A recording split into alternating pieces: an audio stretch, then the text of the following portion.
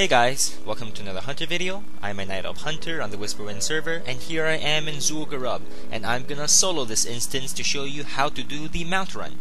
Uh, now you need to be in a raid for this, so just grab a friend or someone in your guild and ask them to set up a raid with you, and then after a while they can leave and you can still solo the entire thing. Now, when you're up to the first boss, dismiss your pet and run in. Just because if you aggro some people, then you don't want your pet aggroing them, and without your pet, you could just feign death.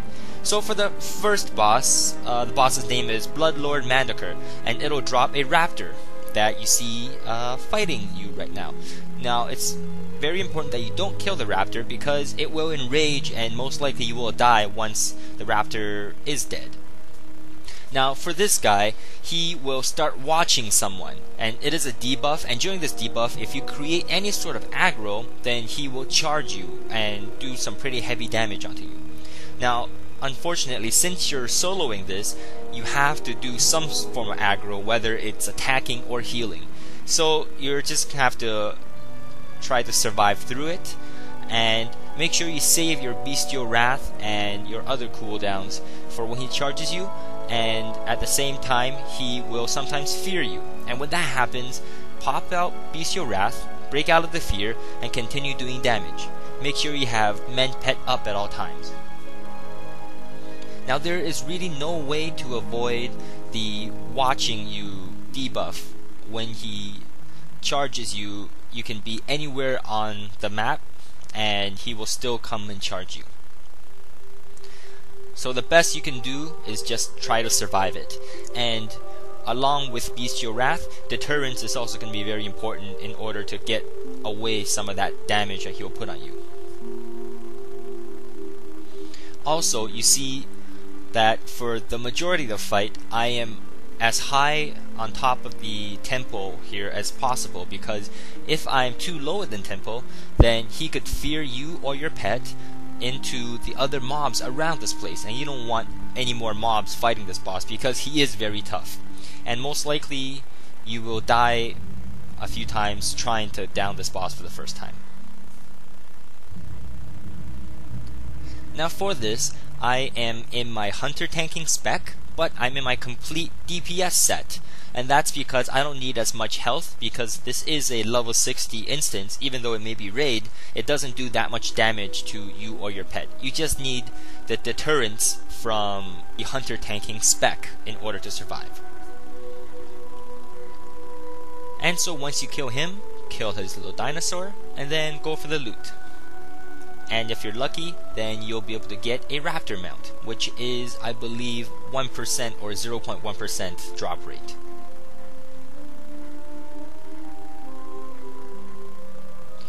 and so run over to the next boss. And for the next boss, you're trying to farm the Tiger Mount.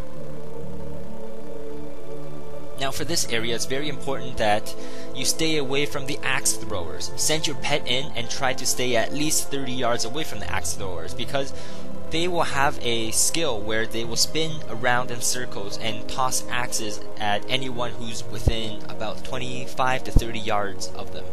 And when that happens, you will be knocked down and you won't be able to cast. However, if there's two or three of them, they can completely keep you down, away from casting, away from moving, and you're just gonna have to wait for your death if that happens. So it's very important that you stay very far away from them and let your pet take most of the damage.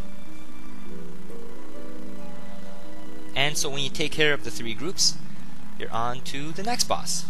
Now for this boss, there are three different types. There is a priest, which is called High Priest Thekal. Another one, which is a shaman type, he is called Zealot Lorkhan.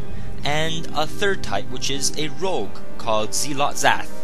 Now, the one you have to be concerned about is Zealot Lorkhan. Not so much concerned, but this is the one you have to start damaging and use Viper Sting on. Because if you try to kill one of them, eventually they'll just resurrect the fallen comrade again and if you try to take down some in low health, take them down in low health, then uh, Zealot Lorkhan will heal them fully or heal them back up for a very high amount. So what you have to do is send your pet in to attack them all and get aggro. Make sure you save Bestial Wrath because uh, Zath, which is the rogue, will sap your pet every so often, and when that happens, you need to have Bestial Wrath to pop out of it, or feign death so that all the mobs go back onto your pet and not onto you. Zealot Lorkhan will have a mana pool, which is very slow to regen, and it will go lower every time he casts a heal.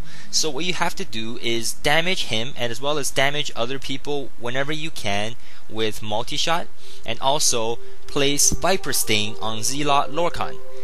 And so what will happen is you'll slowly deplete his mana until his mana is so low that he can no longer cast a heal. And then what you do is make sure you turn off any AoE attacks from your pet, and then attack each and every one of the boss mobs until they're at a very low health. I would suggest around 4 or 5,000 HP left. When that happens, AoE them all down or kill them very close within each other or very close uh, to each other's deaths. What you should also try to do during the fight is tab through each of the mobs and look to see if they have an enraged buff on them. If they do, just tranquilize shot it and get rid of it. Because if two or more of them have an enraged buff, your pet's health will start dropping very very quickly. So just be mindful of that. Phase 2 is very easy compared to Phase 1. All you have to do is take down the Tiger boss and all you have to do is just DPS. He will cast or he will summon some non-elite tiger mobs, and you can easily tank them or just CC them or have your pet uh, aggro them, and fairly easy. Take them all down, and once you kill the boss, loot it, and if you're lucky, you'll get the tiger mount, which is about a 1% drop rate. And that's it for the Zul'Gurub mount run. Thank you very much for watching. Take care and good luck.